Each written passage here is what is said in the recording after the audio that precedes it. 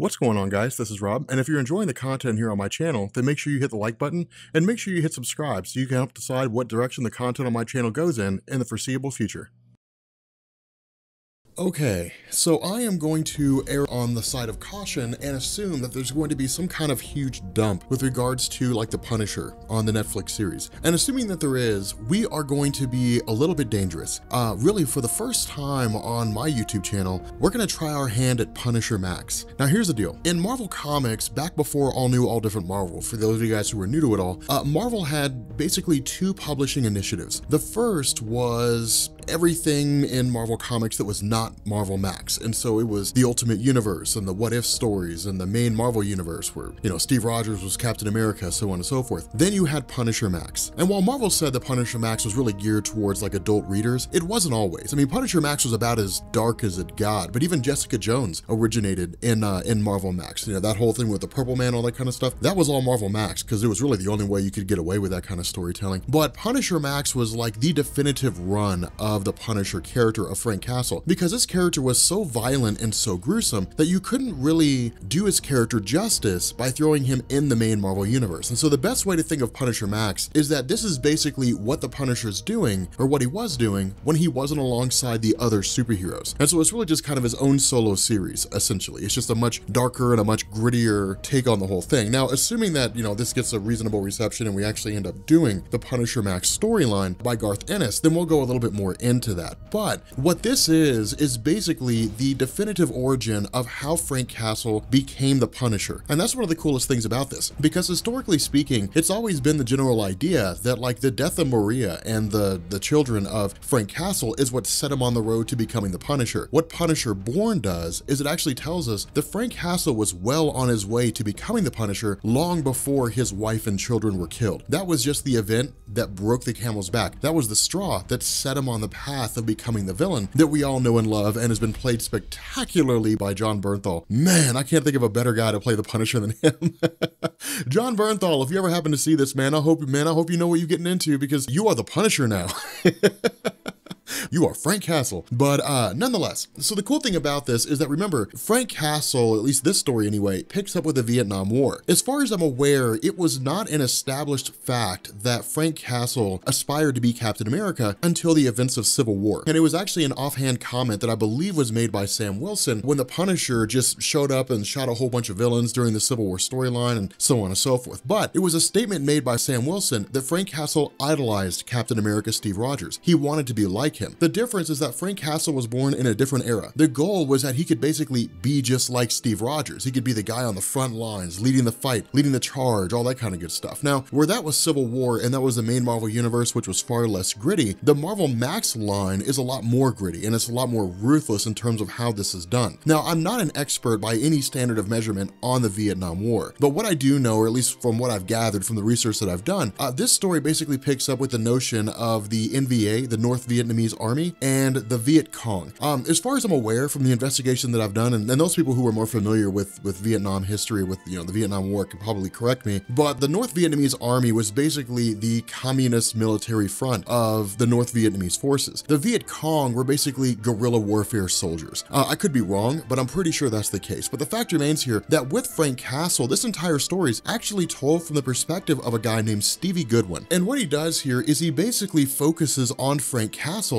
as he exists in this particular scenario. The Frank Castle is essentially the second in command on this base. He's the guy who's basically directly under the guy running the show. And the idea is that he takes his forces out, you know, all the time to go on these routine patrols, different things like that. But where other individuals just want to go back home or where they want to get out of the Vietnam War, Captain Frank Castle lives for battle. He lives for conflict. And so while he's out going on these patrols, while he doesn't have like a hero complex where he's not like rushing his guys into suicide runs, different things like that, instead, he's hoping that it will all lead to like this great big huge massive battle and these things that unfold. This is also introduced with the notion of them basically shooting up what appears to be a caravan. Now remember, when it came to the Vietnam War, again, I'm just kind of speaking with, with research here, the Viet Cong, what made them so dangerous is that if you saw a guy walking down the road and he looked like he had a pack mule and it looked like he was just a guy who was selling goods, you didn't know if that pack mule was loaded with clothes and resources and so on and so forth, or if that pack mule was loaded with weapons and bombs that he was just gonna start throwing at you. That's one of the things that made the guerrilla warfare tactics in the Vietnam War so dangerous is because you couldn't really spot the enemy that readily. And so because of that, the initial, you know, response here by Frank Castle and his guys is to just shoot these forces all to pieces. Now, of course, this ends up turning out to be, you know, members of the Viet Cong, but the fact remains here that it's basically just this display of the fact of how gruesome things are. That Frank Castle takes no prisoners. If he sees an enemy or what he believes to be an enemy, they immediately die on sight. Now, again, the perspective of Stevie Goodwin here is that he looks at these circumstances and he says, Frank Castle doesn't care if he lives or dies here. I mean, I guess, you know, he cares about living so long as he can continue to fight the next battle. But when the war is over, the purpose behind his life is going to be over. And so in that moment, Stevie Goodwin looks to the future and says, this is not going to be the end of his life, that he's going to have a wife, he's going to have kids, different things like that. And so again, this really hits home at the idea of how the Vietnam War impacted different people. There were some who turned to drugs, there were some who turned to violence, there were some who just lost themselves in their entirety, and there were some who didn't have any real effect at all. But it was a war that really impacted a multitude of different men and women in a multitude of different ways. Now, the other half of this is the colonel, the guy basically running the show here. And this guy is effectively just a drunk. I mean, he's essentially just given up. And that's really the state of the entire base here in Cambodia at Valley Forge, more or less, that it's essentially just Frank Castle doing the best he can to hold things together, while at the same time being overcome by his lust for battle, and the colonel just,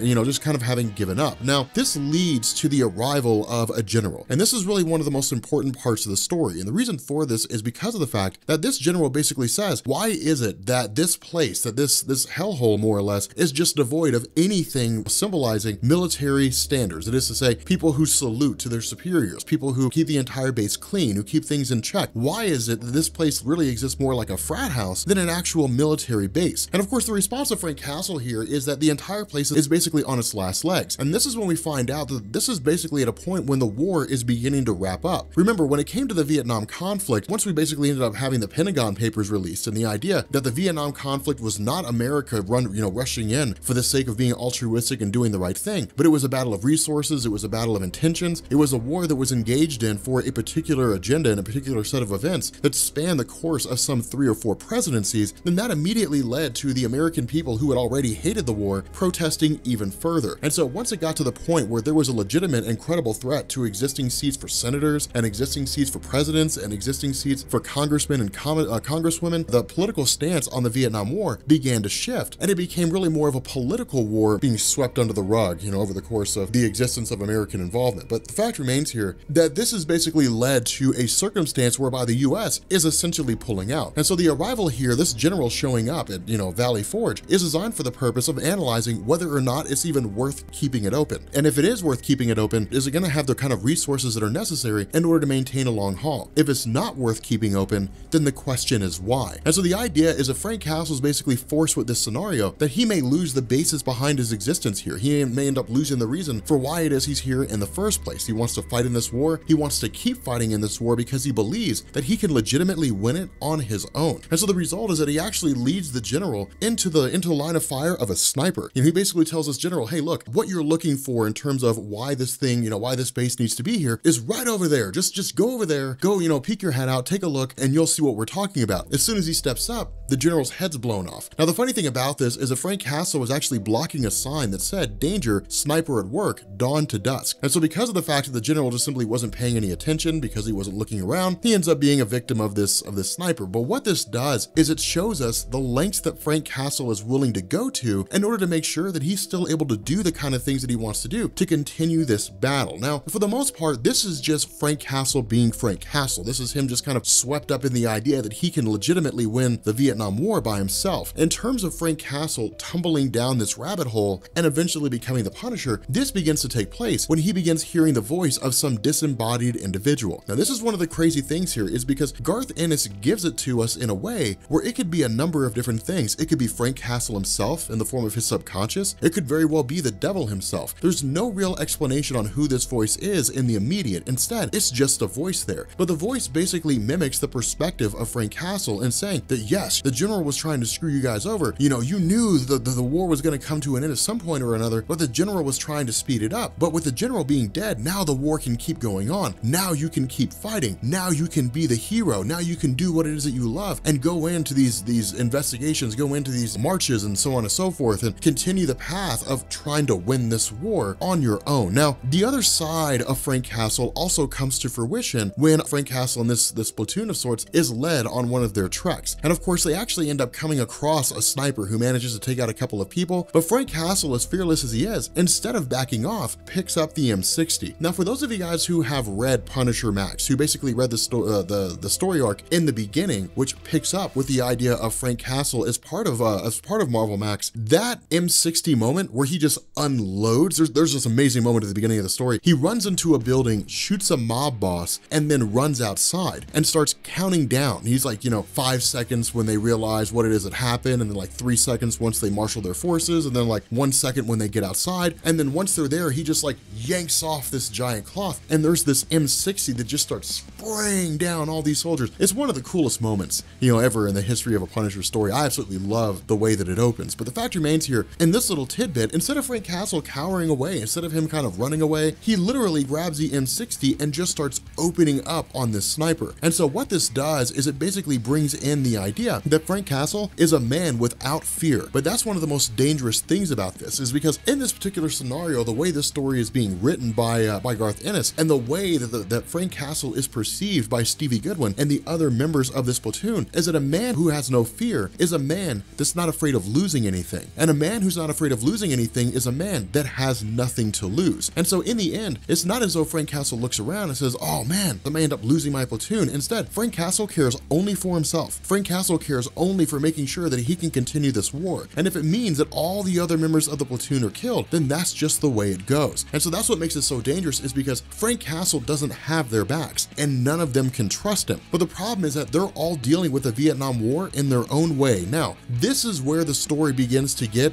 really into the vein of Marvel Max. And the reason why is because of the fact that while they are able to take out one of these snipers and while she does try to, you know, try to kill herself, ultimately, in the absence of Frank Castle, some of the members of the platoon attempt to rape her. And that's one of the huge things about this. When it comes to Punisher Max, Garth Ennis does not shy away from anything. If you've read Punisher Max, the Slavers arc is a perfect example of that. It is an, an arc that deals with human trafficking. And Frank Castle, man, Frank Castle lets them have it. It is, it's, I've never seen anything like that in a comic before, and it's absolutely mind-blowing the way that it's written. It's beautifully done, but it's crazy the way that it's all depicted. But the idea here is that once Frank Castle arrives on the scene, he realizes that this platoon is engaging, you know, in this, this heinous act. And this is the moral principle of Frank Castle. Despite the fact that Frank Castle doesn't care, despite the fact that he has no problems killing anybody he considers to be an enemy, there is still a kind of line that they don't cross. And that's the irony to all this is because this is the one thing about Frank Castle that never changes. The one thing about Frank Castle that never goes away. Frank Castle is always okay with killing the enemy.